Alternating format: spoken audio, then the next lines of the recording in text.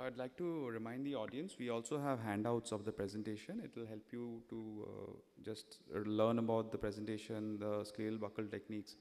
Uh, these are uh, placed in front. If you guys want, you can please have one for yourself.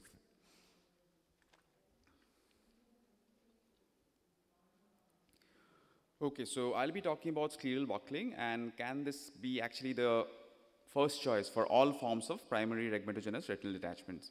I have no financial interest.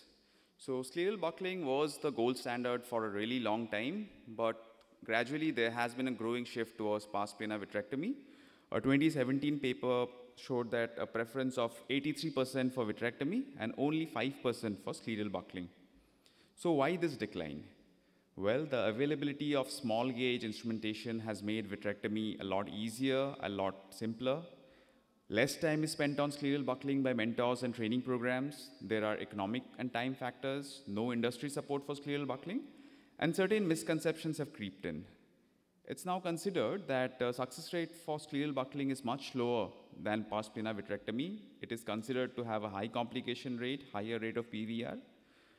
However, there are no dearth of studies which actually show that scleral buckling and primary vitrectomy is almost equal in outcome. Does not matter whether it's a phakic eye or a aphakic eye or a pseudophakic eye. The success rate for scleral buckling increases even further if we combine it with pneumatic retinopexy. A Cochrane review which studied 10 randomized control trials from all over the world, including India, Europe, Japan, showed that the results were very similar for pars plana vitrectomy and scleral buckling, irrespective of the status of the lens. In spite of all this evidence, today the situation is that scleral buckling is tried only for young phakic patients with no PVD. So with this background, I come to the purpose of this presentation. It was to evaluate whether the indications of scleral buckling can be extended beyond a few selective cases and to determine the relevance of this procedure in modern day practice. So we did a retrospective case study in our center we included retinal detachments of all type, phakic with PVD, without PVD, pseudophakic RD with PVD, aphakic and even complicated RDs like uh, RD with choroidal detachment, very posterior break with uh, fixed fold in one quadrant. A total of 73 eyes of 71 patients were included in the study. So briefly describing the surgical procedure, this was a 72-year-old gentleman with a bullous retinal detachment. He was pseudophakic. So if we look at the buckling uh, procedure, the initial few steps like Dr. Jayant mentioned, we go for a 360 degree peritomy followed by isolation of the recti muscle. We have to be careful not to hook the obliques. Once the recti muscles are isolated, we go ahead with cryo and marking of the breaks. It is done using indirect ophthalmoscopy. We use a double freeze thaw technique. Also very important Uh, is to mark the breaks on the sclera using a scleral marker. This will help in placing the buckle in the proper place after we have done the cryo. Once the cryo is complete, we then go ahead with suturing of the buckle. So here you can see a violet mark on the sclera. So that actually indicates where the break is. We suture the explant using Ethibond 50 suture. These are non-absorbable sutures. I also use a 360 degree belt, 240 belt, all in all my cases of scleral buckling. We uh, use scleral tunnels to put the, to the, put the 240 belt in place. Uh, it is passed underneath the scleral tunnels through the groove of the scleral buckle, underneath the recti muscles, and it's tightened using a Watzke sleeve. So how much to shorten I'll be discussing in subsequent slides because that's a very important question. Then we go ahead with the subretinal fluid drainage. It's also very important to maintain pressure on the globe when the subretinal fluid drainage is happening because that helps to prevent any subretinal bleed. We then evaluate the retina to see whether everything's settled or not, and finally the case is closed. So this question is very important because the beginners always ask how much should we shorten the band by. For that, we need to go back to our school days where we studied circumference is equal to twice pi r. So if we are planning for an of millimeter, it means we have to reduce the radius of the globe. So the new circumference will come to twice pi r minus 1. So it comes to the older circumference minus twice pi. The idea is, does not matter what the size of the globe is, need an indent of one millimeter, we'll have to shorten the band by two times 5, that is six millimeter. Similarly, for a two millimeter indent, we need to reduce the size of the belt by 12 millimeter. I hope this point is clear. We see this patient did well. Two months after surgery, he had a vision of 624 and the retina was well settled. The same process can be applied even in aphakic retinal detachments. Initial peritomy followed by the buckle, followed by the recti muscle isolation. We then move ahead with cryopexy. And as you can see, the mark is very well prominently placed on the sclera. This helps to put the buckle in the proper place. We use non-absorbable ethibond sutures.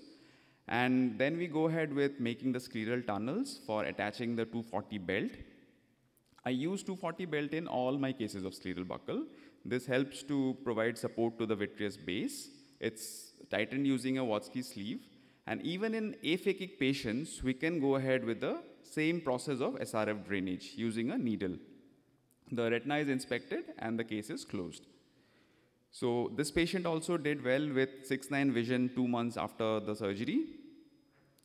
Another important point is if there is a lot of SRF drainage, the globe tends to become very soft. So in those cases, we can actually inject air inside the eye. We try to do a single bubble. However, it might not be possible every time. Here, as you can see, there are multiple bubbles, but in spite of that, finally, I was able to get a single bubble. That helps to provide tamponade to the break. If you are not doing a SRF drainage in case of a superior detachment, you can do a little bit of a core vitrectomy using a MVR port. The eye becomes slightly soft and it provides volume for the air to go in. Once the eye is slightly soft, we can inject an air bubble. In this particular case, I was able to get a single bubble, as you can see, single large bubble that will provide proper tamponade to the break. After that, the port may be sutured. So uh, another case where we have a fixed fold in one quadrant. After the buckle, the retina was attached, the visual acuity improved, and the fixed fold, as you can see, is on top of the buckle. A couple more cases where scleral buckle gave a good result. So this is an interesting case where you can see a star fold right close to the macula. The patient had an inferior dialysis. I did a scleral buckle and two weeks later the retina had attached and the star fold was also beginning to open up. But however, I noticed that the break was still open. So I went ahead and did a barrage laser. Two months later, the star fold is almost totally gone. The visual acuity has improved. And you can see the previous barrage laser marks. But even now, the break was still open. And I was not really satisfied. So I went ahead and did another row of barrage laser. So there is a very interesting paper by Wong et al. which shows that with a scleral buckle, even with open breaks, the retina can get attached. What happens is Bernoulli's principle comes into play, and Bernoulli's principle, like you know, uh, is based on conservation of energy, where uh, if, the, if the height remains same, the speed of the fluid increases when the space becomes smaller. So what happens is the buckle changes the intraocular currents. And that actually helps in drainage of the fluid through the break as soon as the patient becomes mobile. So that's a very interesting paper. I would recommend everyone go through it. Now, pushing the limits of scleral buckle. This is a very posterior break, as you can see over here, with the rolled edges indicating some amount of PVR. So I again went ahead with a scleral buckle and uh, a month later, you can see that the retina is attached. Even though the break was not completely on the buckle, a part of it was on the buckle, even then the retina attached very well and the patient regained good vision after a single surgery. So to summarize my results, I included patients of all ages from 12 to 74 years and we had a single surgery primary reattachment rate of 94.5%. Only four patients required a resurgery. We did a vitrectomy in those patients. All patients improved vision, which was significant.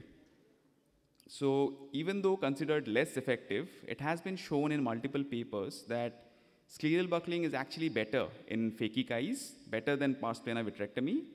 And also, it's much easier to fix a scleral buckle failure rather than a pars plana vitrectomy failure. However, scleral buckling does induce significant myopia. Even in our case series, the myopia ranged from minus 1 to minus 5. In young patients, accommodation is preserved. In older patients, vitreous is preserved. There is no need of post-operative patient positioning unless you are injecting air or gas. And it's a lot cheaper than pars plana vitrectomy. So to conclude, it's a reliable option, offers single surgery good visual recovery in a lot of patients, and I believe it should be the first choice for all primary rhegmatogenous retinal detachments. Thank you very much.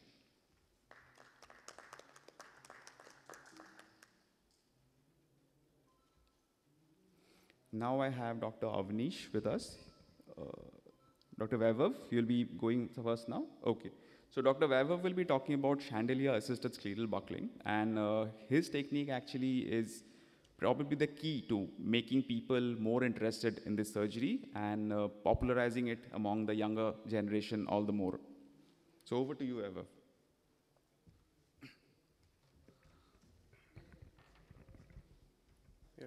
Dr. Himadri, very nice presentation. While Dr. Vaibhav sets his presentation, I have two quick questions. Uh, what percentage uh, is buckle in your current practice right now? 80%. 80%? Yes. That's huge. And uh, uh, the cases that you showed, especially the first one, mm -hmm. there was a huge bullous RD. So any tips for people picking up uh, buckle, uh, how to locate the break in such cases where a bullous component in there is there and you might miss out on breaks also. Okay, so uh, we follow the Lincoff's rule, which very clearly uh, tell you how to exactly find out where the break is. So this was a bullous RD, had a break very superior, close to the 12 o'clock meridian. So the Lincoff's rule help, but sometimes uh, Lincoff's rule does have exceptions. And uh, a good indirect ophthalmoscopy is a prerequisite. That's, that's a skill which we are actually losing. So uh, for all young retina surgeons, I would definitely recommend learn how to do a good indirect ophthalmoscopy. And the only way to learn is by doing